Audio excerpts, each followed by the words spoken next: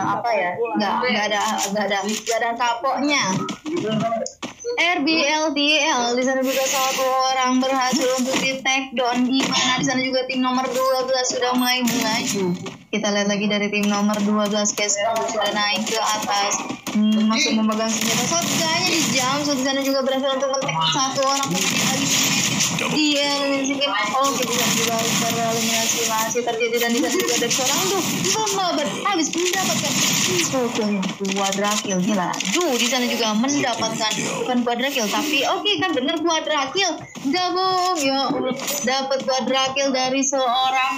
Menyisakan satu orang pemain lagi dari tim nomor 11 kita lihat lagi dari tim nomor 11 itu tadi udah kabur ya dari seorang RDL Zirek di sana juga dikejar-kejar nggak dikasih nafas masih terus dikejar dan RDL ya jadi sana juga harus tereliminasi di posisi ke delapan baik sekali perlawanan yang didapatkan dilakukan dari tim Kesek ya oke Kesek di sana juga mendapatkan 8 poin kill eliminasi lanjut kita lihat dari arah tim yang lain Bismillah di sana juga masih tetap di